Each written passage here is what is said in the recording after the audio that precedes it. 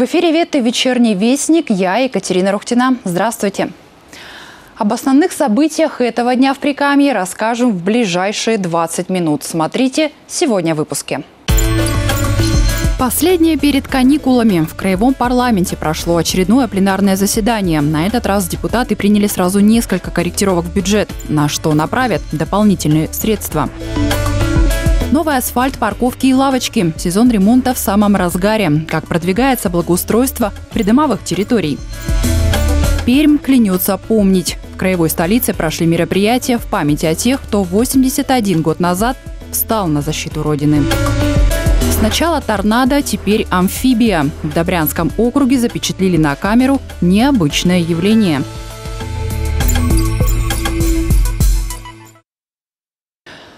Перми вновь расширяют зону платных парковок. С 1 июля в нее включат несколько участков улиц Ленинского и Свердловского районов.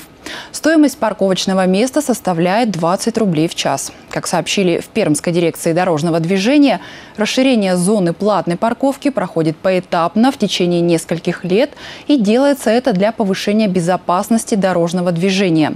Список новых участков, где за оставленную машину придется платить, вы сейчас видите на своих экранах. Оплатить парковочное место можно на сайте «Парковочное пространство Перми» через мобильное приложение «Горпарковки», через СМС при помощи паркомата, абонемента или платежного терминала. За невнесение платы грозит штраф в тысячу рублей. Заключительное перед каникулами. В Краевом парламенте прошло последнее пленарное заседание этой весенней сессии. Одним из ключевых вопросов повестки стал законопроект об изменениях в действующий бюджет. На что направят дополнительные средства, расскажем далее. Ключевые изменения при корректировке бюджета коснулись социальных расходов. Часть средств позволит повысить зарплаты работников бюджетной сферы. Как отметил спикер Краевого парламента Валерий Сухих, эта мера является своевременной в сложившихся экономических условиях. Депутаты поддержали инициативу губернатора и приняли ряд важных решений, касающихся развития социальной сферы.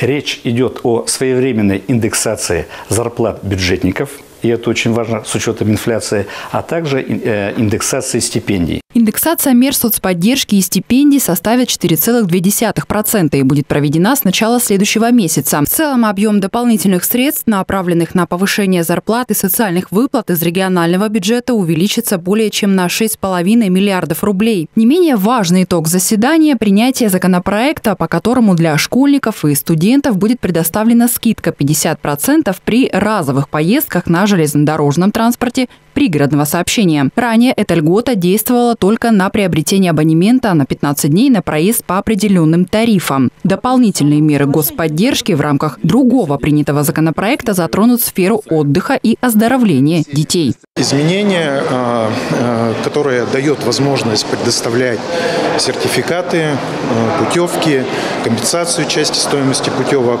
не, не только для родителей, но и для законных представителей, то есть опекунов и попечителей. Ранее в законодательстве для законных представителей была доступна только одна из этих мер поддержки – это частичная компенсация стоимости путевок. Законопроектом определяется и новый минимальный срок пребывания ребенка в летнем лагере – не менее 7 дней. Кроме этого, к полномочиям Пермского края перейдут обязательства по обеспечению антитеррористической защищенности лагерей. Органы местного самоуправления будут отвечать за проведение обследования организации и контроль за выполнением требований антитеррористической защищенности. Это позволит сделать отдых детей при Камье максимально безопасным. Екатерина Рухтина, Семен Соснин, телекомпания «Ветта». Цифровизация строительной отрасли стала главной темой состоявшегося круглого стола с участием IT-компаний Прикамья и представителей регионального правительства. В крае уже активно работает единый информационный ресурс, пользователями которого могут стать все игроки отрасли. Что это дает и как этот механизм будет развиваться дальше, выяснила Валерия Ермакова. Выбрать будущую квартиру из любой точки мира легко с помощью совмещения реального и виртуального мира. Таким архитектурным проектированием занимается компания Михаила Антипина. Разрабатываем э, архитектурные проекты для застройщиков, а также э, делаем рекламные продукты. Это визуализация, анимация, виртуальные туры, виртуальный мир, ну и макеты. То, чем пользуются застройщики. Это позволяет застройщикам показать себя в других регионах, то есть без применения непосредственно офиса продаж через э, рекламные сайты и веб-браузеры. Успехи в своих разработках компания представила на встрече по вопросам цифровизации отрасли строительства. На мероприятии присутствовали не только те, кто предлагает информационные решения, но и их потребители, застройщики, которые стараются как можно быстрее внедрить новые технологии в свою работу. Нормативная база этому способствует. Есть ряд постановлений правительства, которые говорят о необходимости внедрения. Ну и кроме этого, в сложной экономической ситуации Э, компании стремятся быть максимально эффективными, а информационные технологии этому способствуют и позволяют достичь той самой эффективности. Глава региона Дмитрий Махонин уже неоднократно подчеркивал, что цифровизация сфер экономики Пермского края проходит комплексно. Строительство – одно из ключевых направлений. Еще в 2020 году в регионе была введена информационная система «Стройкомплекс», которая позволяет автоматизировать строительные процессы, упростить процедуру осмотра и гарантийное обслуживание объектов. Я бы со своей стороны отметил несколько решений, которые нам сейчас очень важны и нужны для отрасли, в частности для э, Краевого министерства по строительству. Э, это решение в части BIM-технологий, когда мы должны уже с 2023 года проектировать в 3D-моделях объекты строительства и отслеживать исполнение работ, вести надзор уже в современных цифровых стандартах. К 2030 году в сфере строительства планируется сформировать единую цифровую среду, в которой будут представлены все объекты капитального строительства в виртуальной форме. Валерия Ермакова, Евгений Загрецкий, телекомпания «Ветта». К другим темам. Власти Перми презентовали концепцию благоустройства нижнего яруса Слуцкой горки. На верхней части сквера появятся спортивные детские площадки, места для настольных игр, спортивные тренажеры. Нижняя часть будет представлять собой прогулочную зону с местами отдыха. Как сообщает городская администрация, деревья и кустарники сохранят, заменят только аварийные деревья. Планируется высадить и молодые, плакучие ивы, можжевельник и березы. Для маломобильных групп населения со стороны улиц Попова и Петропавловской построят удобные съезды. Будет проведен ремонт подпорных стенок, а также обновят уличное освещение. Благоустройство Слуцкой горки приурочено к празднованию 300-летнего юбилея Перми. Тем временем в Перми продолжается сезон благоустройства дворов. Масштабная работа по формированию современной комфортной городской среды идет уже несколько лет. Главные действующие лица преобразований – сами жители, которые определяют то, что необходимо сделать в первую очередь. Осуществить задуманное помогают депутаты. Как это работает, посмотрела Анастасия Петухова. 120 тонн щебня и тротуар во дворе дома номер 7, дробь 2 по улице Красногвардейская наконец-то стал ровным. Асфальта здесь никогда раньше не было. Председатель ТСЖ Евгений Шиленко не только рассказал об этом, но и поделился фотографиями. Что было? Э, дом 97 -го года постройки, ну, собственно говоря, с тех времен, как строители уложили бетонное основание, так оно и просуществовало вот до недавнего времени потрескалось, рассыпалось. Некрасиво. Сейчас, я думаю, будут жители довольны тем, какую работу проделывают подрядчики. За работой подрядных организаций внимательно следят и местные жители, и депутаты Пермской городской думы. Олег Бурдин проверяет готовность объектов. Так, в Орджоникидзевском районе этим летом комплексному благоустройству подлежат 16 территорий многоквартирных домов. На Даватора 40 с нетерпением ждут детскую площадку что семья у нас большая, детей много, очень хочется уже наконец-то, чтобы можно было выйти во двор, поиграть с детьми. Конечно, очень любят дети кататься на роликах, на самокатах, то есть сейчас будет уже наконец-то ровный асфальт, что можно будет действительно выпустить, покататься, отдохнуть с детьми. Ремонт придомовых территорий проходит во всех районах Перми. Благодаря федеральной программе «Комфортная городская среда» преображаются дворы и целые кварталы. Задача создать а, комплексное благоустройство и в качестве примера на этом объекте. А, он находится на улице Даватора, и улица Даватора также включена в программу ремонта проект «Безопасные качественные дороги». Это нацпроект, и люди уже получат выезд с благоустроенной дворовой территории на благоустроенную автомобильную дорогу общего пользования. Еще один адрес – Черняховского, 86. Здесь этим летом по инициативе жителей появились парковочные места. Надо сказать, что жители достаточно активно участвовали в принятии решения. Они а, разрабатывали проекты, они же его на общем собрании утверждали. Здесь вы видите, что на 99% объект уже выполнен, заканчиваются работы, как раз вот привезли чернозем, посев газона идет, сделана уже вырубка, так называемая, на проверку качества работы, лаборатория даст свое заключение.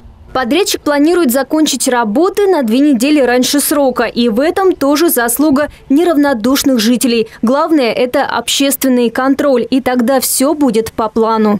Анастасия Петухова, Татьяна Сарамотина, телекомпания «Ветта».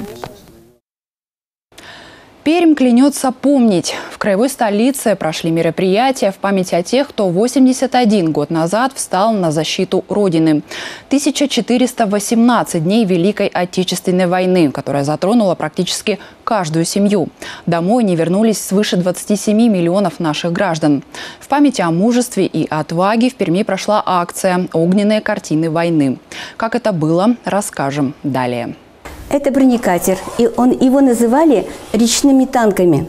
Очень маневренное быстроходное судно с ракетной установкой. Всего за время войны на Пермском заводе был выпущен 131 такой катер. Почти каждый внес свой вклад в победу. В 1974 году из судна, участвовавшего в боевых действиях, решили сделать памятник. Восстанавливался внешний вид, как положено. Мы тогда бегали, молодежь были, и смотрели, как это делалось. Было очень интересно попасть вовнутрь судна. Там были каюты для матросов, командира, то есть были все условия, которые обеспечивают плавание. Установили памятник бронекатеру у судостроительной верфи к 9 мая 1975 года. Стоит отметить, что завод по сей день продолжает работать. Предприятию вернули историческое название и возлагают на него большие надежды. Раньше территория судозавода была 34 гектара. Да? Наш сейчас верфь, э, за ней 12 гектаров. Вот остальную часть сейчас будет открыта особая экономическая зона, где Пермская судоверь будет рэперной точкой. Ну, это даст прежде всего налогообложение, льготы, но и поиск хороших серьезных инвесторов. Мы сейчас строим остановочные комплексы для Москва-реки, для судов на электрической тяге. В этом году бронекатер завода «Кама» стал символом акции «Огненные картины войны» проекта победителя конкурса «Город – это мы». На набережной реки Камы появилось огненное изображение судна, отражающее вклад региона в Великую Победу. Зажечь свечу и выложить ее в форме рисунка мог каждый желающий. Если нет смерти отца, Организатором акции выступила молодая гвардия «Единой России». С 2015 года мы проводим акцию, которая посвящена началу Великой Отечественной войны, нашей памяти о тех, кто погиб, кто был замучен в концлагерях, на оккупированных территориях, те, кто добыл победу для нашей страны, тем людям, благодаря которым мы сегодня живем. Сюда приходит каждый год все больше и больше народу на наше мероприятие. Люди приходят совершенно искренне. Массовая акция в День памяти и скорби проходит в Перми по инициативе «Единой России». В седьмой раз в этом году в ней приняли участие порядка тысячи человек. Валерия Ермакова, Татьяна Сарамотина, телекомпания «Ветта».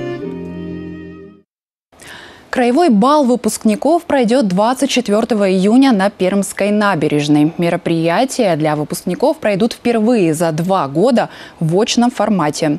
На краевой выпускной съедутся 4,5 тысячи человек со всего Прикамья. Не только школьники и выпускники колледжей, но и их родители с учителями. Программа стартует в полдень. С 12 до 4 выпускников ждут экскурсии в Пермские музеи и галереи. После состоятся торжественные мероприятия на набережной. Ребят поздравит губернатор Прикамья Дмитрий Махонин. Пройдет концерт с участием вокальных и танцевальных групп. И не только. На мероприятие смогут попасть только приглашенные вход по специальным браслетам. В Кудымкаре снова перенесли окончание ремонтных работ Синего моста. Прокуратура Сивинского района выявила многочисленные нарушения оснащения ФАПов. И этим летом в краевой столице вновь пройдет фестиваль «Музыкальные встречи на Соборной». Об этом мы не только далее в рубрике «Новости региона».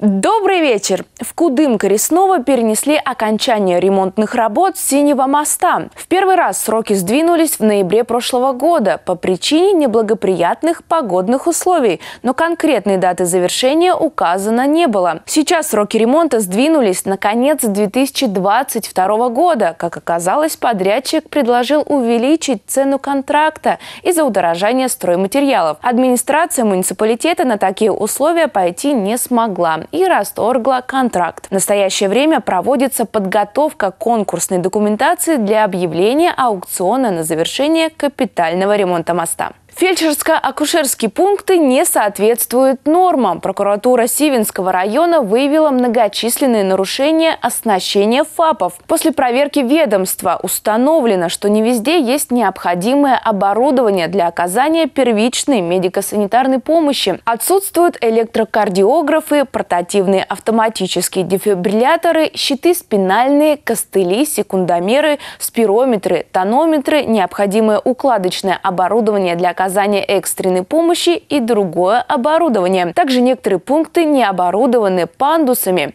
Устранение нарушений законодательства находится на контроле прокуратуры района.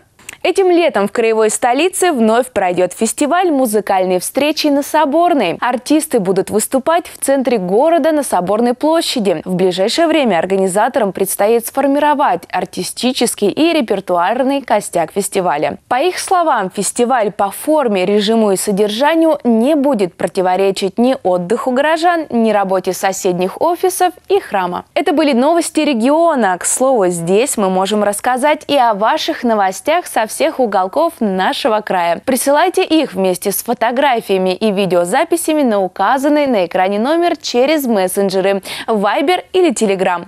Поделитесь со всем Пермским краем. На этом у меня все. И замки, и мосты, и старинные отечественные храмы, и целый спектр техник, с которыми работают воспитанники школы имени Широкого. Центральный выставочный зал экспонирует работы его воспитанников. За почти 40 лет существования школы это первая экспозиция такого внушительного масштаба. С работами познакомилась Полина Рифа. И вот эта работа, выполненная в Кронштадте, нам показали интересную технику получения питерского серебра. Секрет создания питерского серебра с тех самых пор ученики художественной школы имени Широкого очень хорошо усвоили. Выездные пленеры, надо сказать, такая фишка учебного заведения, повышает уровень любознательности и расширяет кругозор. С таким багажом учатся обычно не из-под палки, а с неподдельным интересом. В художественной школе э, мы работаем по предпрофессиональной программе, рассчитана на 5 лет. Преподается рисунок академический, живопись, композиция, история искусств скульптура. И еще проходит ежегодно пленер. И мы очень часто выезжаем с детьми за пределы Пермского края. Мы выезжали даже за границу. Дети были в восторге. Вот мы, был пленер на Монматре, э, был пленер в Дрездене, в каких-то старых замках рисовали. И замки, и мосты, и старинные отечественные храмы, и целый спектр тем и техник, с которыми работают воспитанники школы. Сегодня внутренняя кухня доступна широкой аудитории. Центральный выставочный зал взял художку под крыло и экспонирует работы ее воспитанников. За почти 40 лет ее существования это первая экспозиция такого вот внушительного масштаба.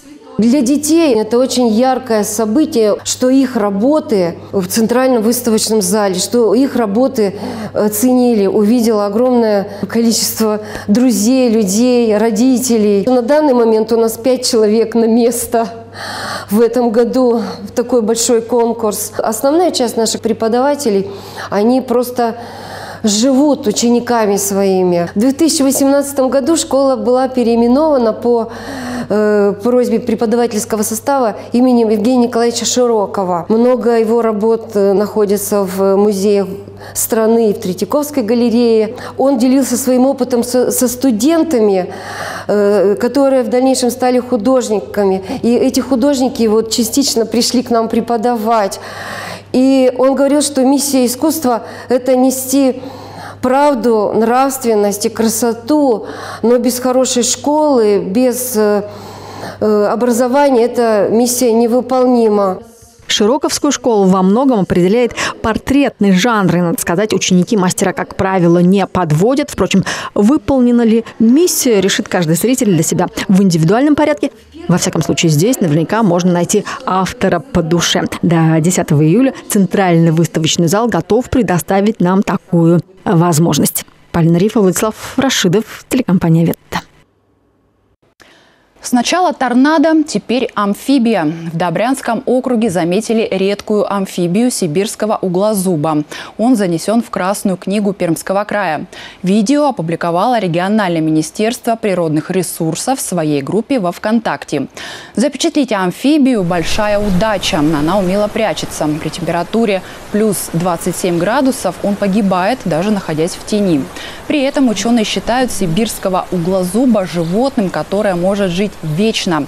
К числу вечно живущих углозуба относят из-за его способности пережидать холода и морозы в состоянии анабиоза. Видео довольно быстро распространилось в сети интернет и вызвало бурные обсуждения у пользователей. Это были все новости на сегодня. Спасибо, что провели время с нами. Я, Екатерина Рухтина, прощаюсь и желаю хорошего вам вечера.